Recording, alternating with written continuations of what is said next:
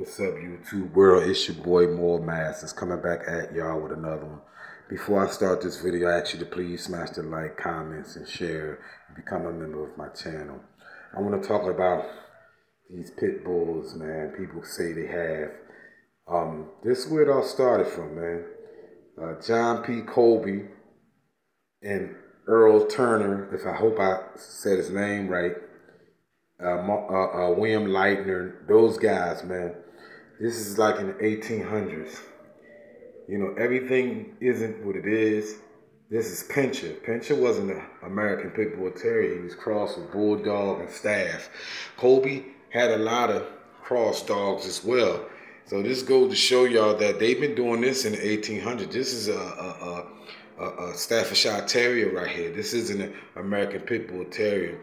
They got that from them bulldogs and those old southern whites and that bull and terrier. That's where that white stuff come from, man. You see this?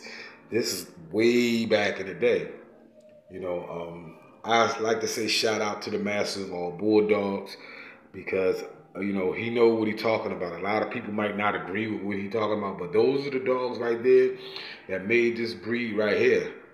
This is how the pit bull terrier came you know what I mean? From those staffs, those bulldogs, and some other terrier that nobody know what, what made these dogs. By the way, this is that tombstone bloodline. But once again, what I was saying, shout out to you, Master of all Bulldogs. It's your boy, Moore Mastiff. I prove this